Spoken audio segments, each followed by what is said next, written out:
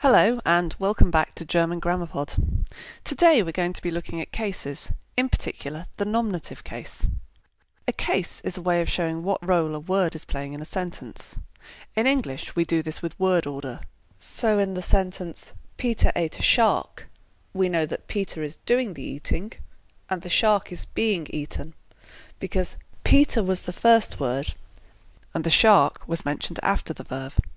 In German, however, you can show which way round the sentence is happening by the case.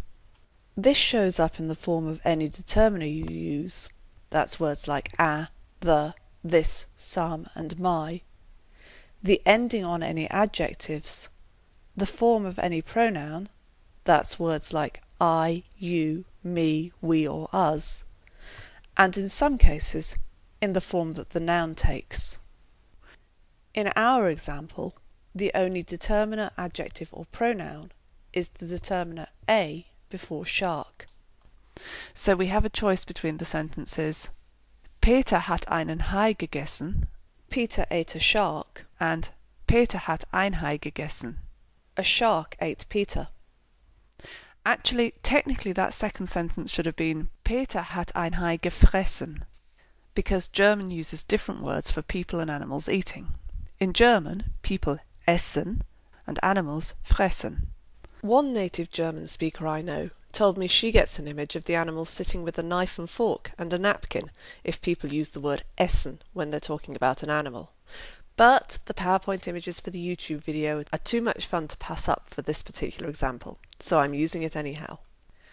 Back on my examples, despite both having the same word order, as we just saw, the first one means Peter ate the shark and the second one means that a shark ate Peter. In fact, to be doubly confusing, I could have it the other way round.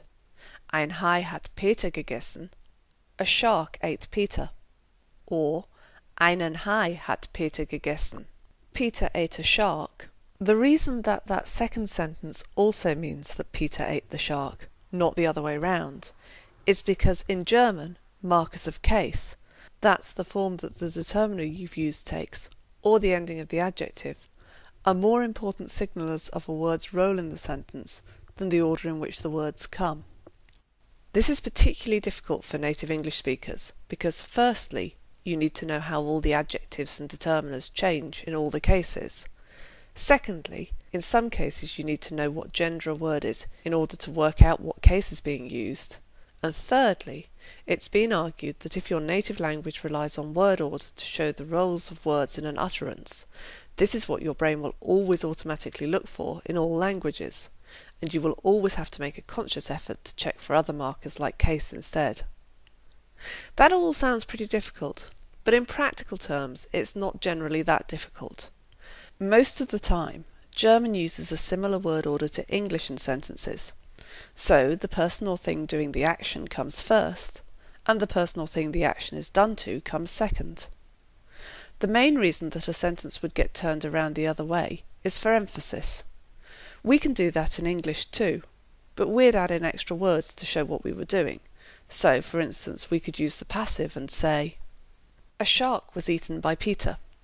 Or we could restructure the sentence and say, It was a shark that Peter ate. German doesn't need to do this to put the shark in first position. It can just use its case system to show who was doing the eating and who was being eaten. When you first start learning German, the chances are that all the sentences you come across will be in the same order that an English one would be, in terms of personal thing doing the action first, personal thing that the action is done to second. At this point, it's mainly important to know that the cases exist and know what they are for rather than being able to use them correctly, as this explains why determiners and adjectives can have so many different forms, and explains why there are two different words for me. It takes quite a bit of knowledge, including the genders of the nouns you're using, to be able to use the cases correctly. So I would advise not worrying too much about trying to use the correct case in your sentence until you've been learning for a while. Later on, it will become more important to be able to use the cases correctly, and I'm about to give you tips on how to do this. Later still, it becomes important to remind yourself to check whether the cases used match what you were expecting from the word order, or whether they're a different way round. Personally, I found that this mainly became important after I'd left university and become a translation checker. German has four cases the nominative, the accusative, the dative, and the genitive. All nouns you ever come across in German have to be in one of those cases. Today, I'm only going to look at the nominative. I'll be covering the other three cases in the next three podcasts. The nominative case is the one you find in the dictionary, and the case you'll be taught first for any word where case makes a difference. That's mainly determiners, adjectives, and pronouns. The nominative is the case that you use for the person that's doing the action. Most sentences, and certainly every simple sentence, like the sort you learn when you're just starting to learn a language, will have a nominative in it. The simplest sentences generally take the form nominative, verb, accusative. For instance, Ich esse die Wurst. I eat the sausage. Er liebt Cora. He loves Cora. Or Peter hat zwei Brüder. Peter has two brothers. In English, one of the few places you can still see the remnants of a case system is in the pronouns I and me. Although English is not considered to have a nominative case, the word I is generally used in English where a nominative would be used in German, and me is generally used where one of the other cases would be used, particularly the accusative or the dative. So, as a rough rule of thumb, this means that if you could swap the noun or pronoun you want to use for an I in English, you should be using a nominative in German. For instance, with the sentence, Peter ate a shark, you could make that sentence, I ate a shark, so you know that you should put Peter in the nominative. On the other hand, you would not say, Peter ate I, so you wouldn't put shark in the nominative. I'll come on to what case shark should be in next time. But, two words of warning. Firstly, just because a sentence doesn't make sense with the person doing the action doesn't mean that one of the words is not in the nominative. So, just because I closed at five o'clock doesn't make much sense, doesn't mean the shop in the shop closed at five o'clock isn't in the nominative. Secondly, there are also some places where German uses a nominative where English would or could not use an I for various reasons. For instance, the nominative is used when addressing people, as in the Herr Schmidt of Herr Schmidt, Telefon für Sie, or Tag, Michael. Also, there's a set of verbs that you use the nominative on both sides of, i.e., nominative, verb, nominative. Those verbs are sein, werden, bleiben, heißen, and scheinen. That's to be, to become, and also would and will, to stay or remain, to be called, and to seem or appear. Examples of these are Ich bin Einzelkind. I'm an only child. Thomas bleibt mein bester Freund. Thomas remains my best friend. Sie wird Lehrerin. She's going to be a teacher. Ich heiße Laura. I'm called Laura. Er scheint ein furchtbarer Chef zu sein. He seems a terrible boss. One final place in English where you'll find the nominative in German, where you wouldn't find one in English, depending on the English speaker, is in sentences comparing one thing to another. So in English, many speakers, including me, will use sentences like, He's bigger than me, she's better read than me, as opposed to, He's bigger than I, she's better read than I, which is what other speakers of the language would consider to be correct usage.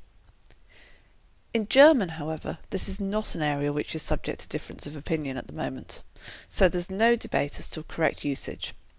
German always uses a nominative in this position, so you get Er ist größer als ich, he's bigger than me, sie ist belesener als ich, she's better read than me. So, how does the nominative show up in the German language? Well, as I mentioned earlier, you see it in determiners, adjectives, pronouns, and nouns. I'll start with nouns because they're easy. The nominative is the basic form of the noun. It's the form you'll see in dictionaries, so there are no changes to this form when you use a nominative. Indeed, German nouns don't usually change when they're in different cases. So this is actually the form you'll see most of the time. except in some instances, which I'll talk about in later podcasts. With pronouns too, it's pretty simple. It's the first form you're likely to have learnt of them, so ich meaning I, du meaning you informal singular, er sie es meaning he she it, wir meaning we, ihr meaning you informal plural, sie meaning you formal, and sie meaning they are the nominative personal pronouns. It would take a very long time indeed to go through every example of the nominative case for determiners and adjectives. So for now, I'm going to stick with the examples I think are most useful. I'm going to run through all the examples in the order masculine, feminine, neuter, plural. By the way, in case you were wondering, the plural doesn't change depending on the gender as it does in some languages. I'll also provide a table on the website sites.google.com slash site slash German Grammar. There's a link to it on my blog in case you get to that one first. So, my first key example is the word a. This comes out in the nominative as ein, masculine, eine, feminine, and ein, neuter.